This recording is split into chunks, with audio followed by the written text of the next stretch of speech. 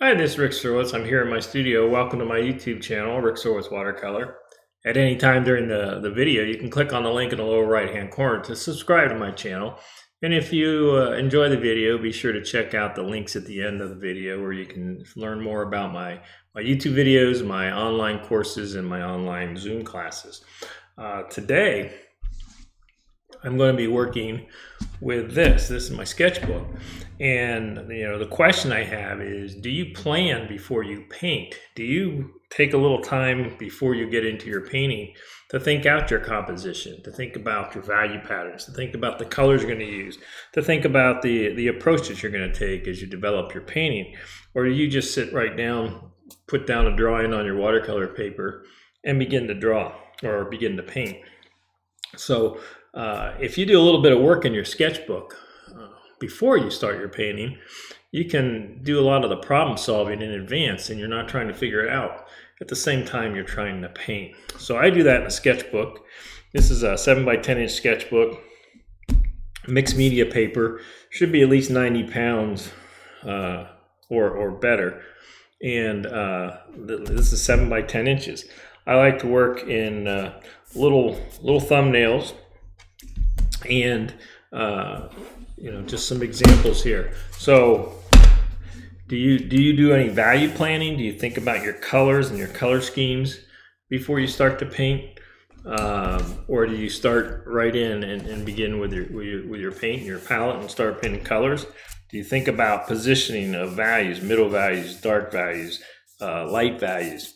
Uh, do you think about their placement? Do you think about the composition and then different color schemes that you could use. Do you do any of that advanced planning or do you just try and figure these things out while you paint? If you, if you do a little work up front, uh, it, it's not so much the, the studies that are that important. It's the thinking process that you, that it forces you into. So you're better prepared when you begin your painting. So I like to, to work in in the little squares and um, you don't have to. You can do these freehand, do them all kinds of different sizes on a page. You don't even have to have boxes, whatever works for you. Um, but I, I, have a little template that I use. This is just cut out a mat board. Lets me quickly put in the little boxes that I like to work at. And remember, these aren't works of art. Uh, they're not intended to be.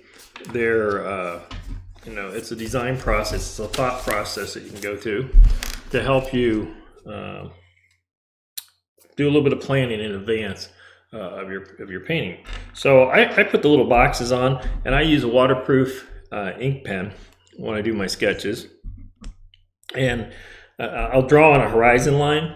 Uh, using a, a, pencil, and that's just how I like to do it. Sometimes I move move it around, and you know when I'm doing a thumbnail sketch, uh, I experiment first with a thumbnail sketch, then I'll do a value study, then maybe color study. Depends and uh, depends on the the subject, the painting I'm doing, on how many of these I do. Uh, until I feel comfortable that I have a, an idea of what I want. Sometimes it, it's just one. Sometimes I don't even do that. Depends on my painting, my subject, and how I feel about that. So in this instance here, uh, again, these are very simple sketches, uh, not intended to be works of art themselves.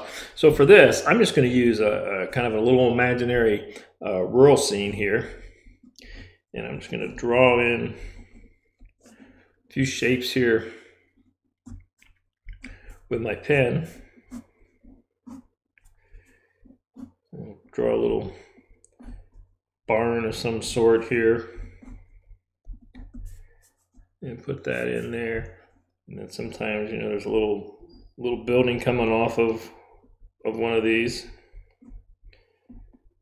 As you can see the size these are. This isn't real big. Uh, put a little door in that, window. And let's see, we'll bring that over here and maybe I'll have a, a tree trunk with tree kind of going off. Bring that there, bring that there. Then uh, some leaves that for my horizon line. Maybe it's might actually go, let's see, go a little, little lower for my horizon line than what I have here. I'm gonna go there like it's a field, some distant, distant tree line, And that's it. That's really all I need. So this is, like I said, it's just an imaginary scene. And uh, I'm to draw that in a few more times here. So just a simple little sketch.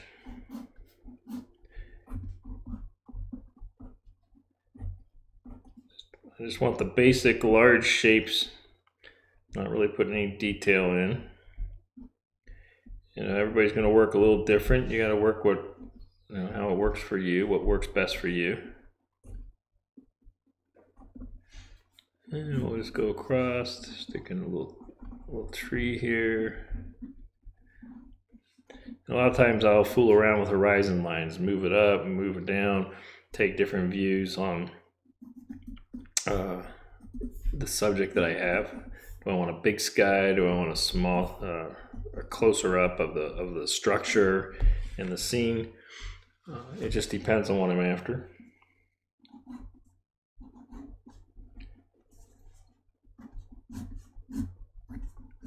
So, like I said, this is just a made up little rural scene.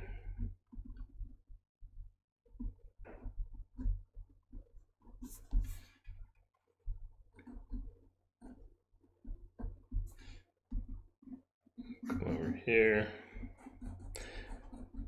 So I might do a page of, of value studies and I might come back and do some color studies in another page. Might just do a couple value studies and once I'm confident I have what I want, then I might do some color studies. And I may not even do any color studies, it just depends.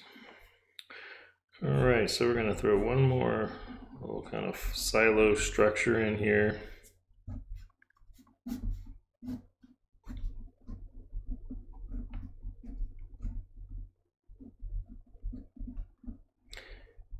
Put that in there.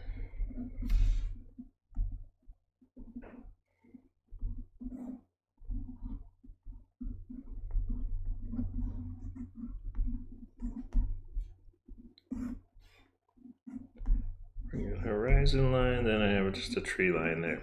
So, uh, very simple, not too complex. So I've drawn that in roughly uh, four times and it it's gives me my major shapes to deal with. Um, I don't have to get real involved with details or anything, just the big shapes. So now what I want to do is start thinking about uh, values. And sometimes what I'll do is I'll take a pencil and I'll write off to the side, uh, you know, dark value dominance, light value in the middle, and middle value here, or dark and light, and middle value here and here. and, uh, you know, I'll develop a painting that way you know, I could do a, a middle value with a large white shape with a smaller dark shape on top of it. But it just depends. Uh, so sometimes I'll put those notes on there. But you can do these value studies with pencil. You know, you can use markers. And uh, I just like to use Payne's Gray. So I have some Payne's Gray here on my palette. And I'm going to take uh, kind of a a, a middle value wash right now. And I'm going to paint. This is just a size 8 round brush. And where am I going to go? I'm going to go here. And I'm going to bring down here. Just kind of a light middle value right now to start here. And uh, I'm going to have my light source coming from the right.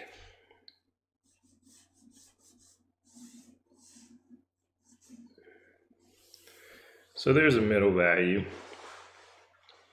I don't have a lot of darks on it. And I'm going to do a, a second one here. And I'm going to go again with the, some of the middle value.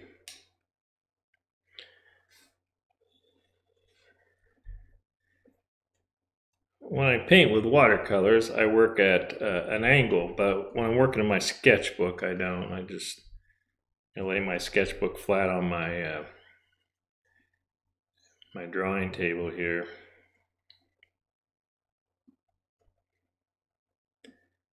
All right, so a lot of middle value. Left a few light shapes here. And I'll leave it like that. So maybe I'll keep, uh, maybe I'll keep going. So I only have to dry this once. So I'm going to bring in my middle values. I'm going to leave a little light. I'm going to have a light source coming from the left side this time. And let's see, we're going to go middle value here. Middle value.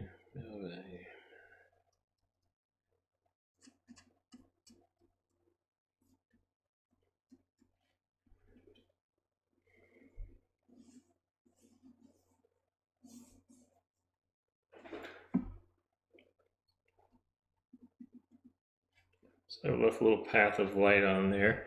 Could have could have left a little light on the silo there, but I didn't. And over here, I'm gonna go with the middle value here. Again, I'm gonna have the light coming from the left. And I'm gonna leave, let's see, I'm gonna leave the light path uh, for the trees this time.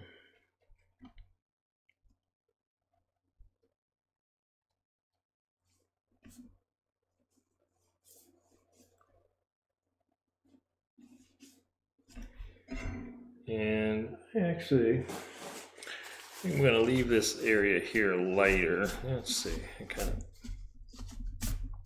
dried a lot of that, but we'll, I'm going to leave that a little lighter there. And now I'm going to give this a, a quick dry. So I've dried it, so I have a light wash here on all these. And uh, I'm going to go now to a number six round brush, just a little smaller. To get a little darker with my wash.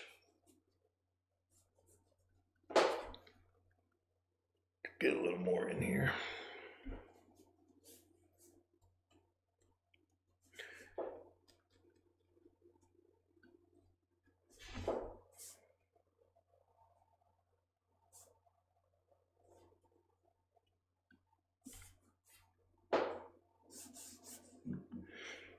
Say I wanted to have some some rows showing in my my my crops. Might take a little bit of a this middle value like that.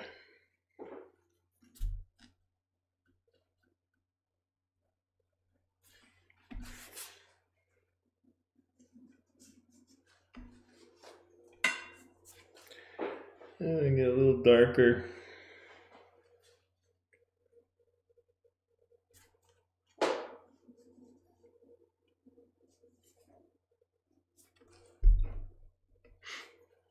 Should have gone with a little darker value there.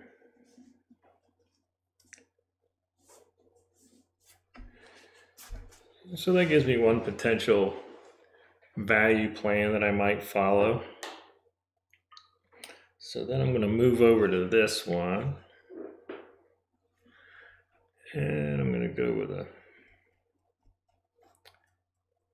let's see, some darker middle values.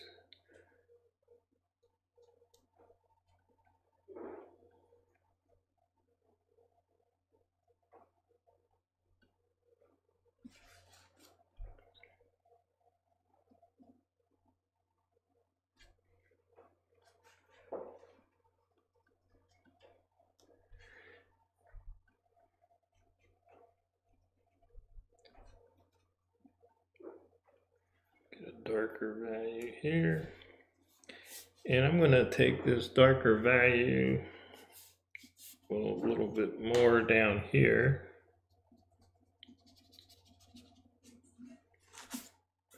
Maybe a little gradation.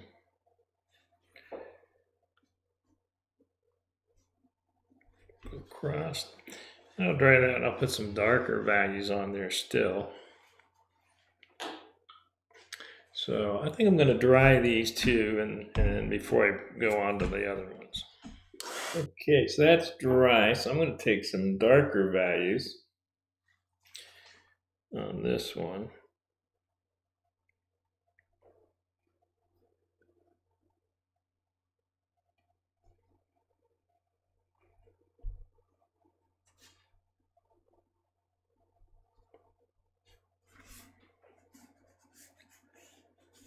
Still go a little darker here.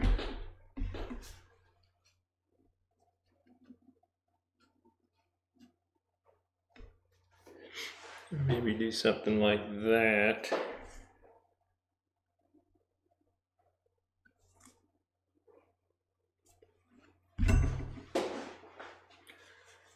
Do something like that. Now over here, let's see, I'm gonna get this dark in here, here, go under there.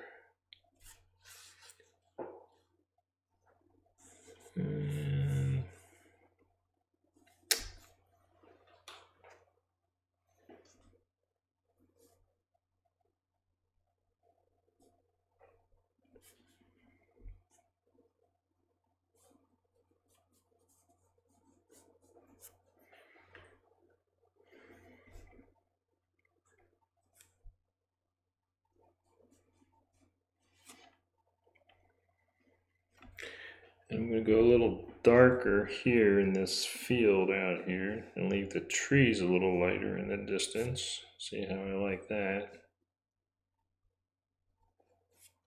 So here I have a light shape going across uh, for the field and then a middle value trees. And here I have a light middle value trees and I have a darker uh, field. I think I need to match that a little bit with some darker values here. See, this is where I start asking myself questions as I'm developing this. Uh, the same kind of questions I'd be asking myself if I were painting, but I can I can do this on inexpen- in an inexpensive sketchbook without worrying about ruining my painting, and I have some idea of where I'm going. And then I can apply color to whatever value pattern I decide that I want to go to. All right, so I'm going to go with a dark, this particular one, I'm going to go with a dark darker, uh, a darker sky in the background here.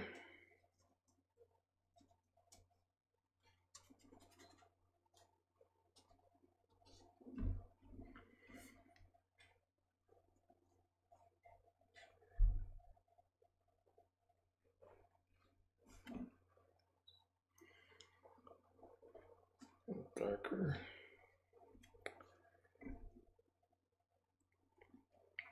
I'm going to leave the trees light. I've got the middle value there. And uh, go a little darker here. Here.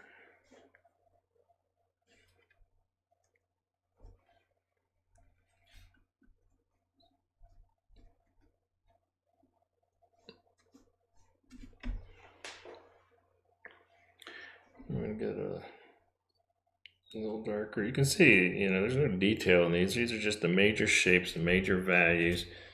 And let me dry that again. Okay, so that's dry. Some darker shapes in here.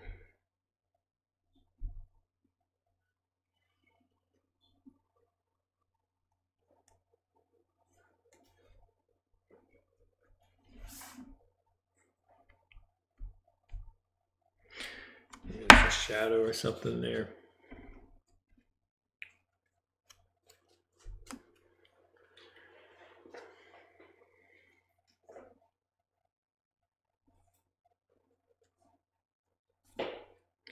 So, you know, all I've done is some simple sketches in there uh, with a waterproof pen. I come in with my, my Payne's Gray.